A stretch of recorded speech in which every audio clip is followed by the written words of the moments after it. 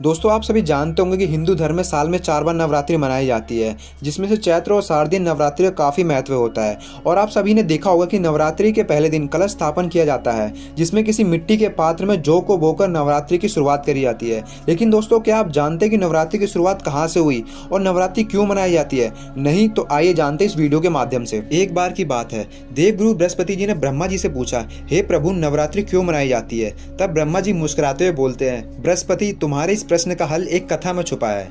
बहुत साल पहले मनोहर नगर में एक ब्राह्मण रहा करता था, जिसका नाम पठित था। पठित देवी दुर्गा का बहुत बड़ा भक्त हुआ करता था। युवा होने पर उसकी शादी हुई। फिर कुछ दिनों बाद उसकी पत्नी ने एक सुंदर कन्या को जन्म दिया, जिसका नाम उन्होंने सुमति रखा गया। जब उस कन्या को ज्ञान हुआ तो जब भी पठित देवी दुर्गा की पूजा किया करता तो वह कन्या वहाँ आकर बैठ जाती। लेकिन एक दिन वह कन्या देवी दुर्गा की पूजा में बैठने की बजाय अपने दोस्तों के साथ खेलने चली गई। यह देखकर पठित अपनी पुत्री से बहुत क्रोधित हुआ और उसके पास जाकर बोला, हे hey दुष्ट, आज तू माँ दुर्गा की पूजा में क्यों नहीं आई? इस अपराध के लिए मैं तेरी शादी एक कुष्ठ रोग से ग्रसित एक युवक से करा दूँगा। पिता की बात सुनकर सुमति को बड़ा दुख हुआ, लेकिन वह अपने पिता से बोली, पिताजी, मैं आपकी पुत्री हूँ, आप जैसा चाहे वैसा कर सकते हैं। अगर मेरे भाग में कुष्ठ रोगी पति ही लिखा होगा तो मैं क्या कर सकती हूँ? क्योंकि जो इंसान जैसा कर्म करता है, उसको वैसा ही फल प्राप्त होता है। क्योंकि कर्म करना मनुष्य काम है और फल देना ईश्वर के अधीन है। अपनी पुत्री सुमति के मुख से ऐसी बातें सुनकर पठित का क्रोध और बढ़ गया और इसी क्रोध में आकर उसने अपनी पुत्री का विवाह एक कुष्ठ रोगी से कर दिया। विवाह के बाद जब सुमति अपने ससुराल जाने लगी तो पठित ने कहा, बेटा, अपने कर्मों का फल भोगो, देखे भाग्य के भरोसे क्या करती हो? पिता की बातें सुनकर सुमति सोचने लगी, क्या सच में मेरा भाग्य इतना खराब है जो मुझे ऐसा पति मिला?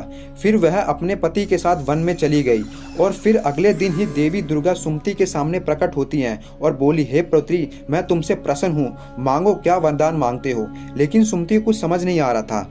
फिर माँ दुर्गा बोली, पुत्री, मैं तुम्हारे पिछले जन्म के पूर्ण प्रभाव से बहुत प्रसन्न हूँ। माँ दुर्गा की ये बात सुनकर सुमति बोली, माँ, मैं पिछले जन्म में कौन थी? जरा विस्तार से बताइए। देवी बोली, पुत्री, पिछले जन्म में तुम भेल की पत्नी थी। एक दिन तुम्हारे पति ने चोरी की और सिपाहियों ने तुम दोनों को पकड़कर कारागार में बंद कर दिया और उन लोगों ने तुम दोनों को भोजन भी नहीं दिया।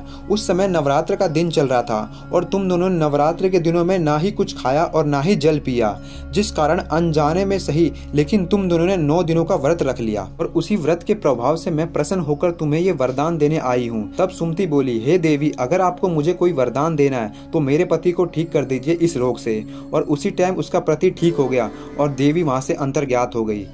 तो वेल दोस्तों, आज के लिए इतना ही। ऐसी और वीडियो को लाइक और हमारे चैनल को सब्सक्राइब कीजिए।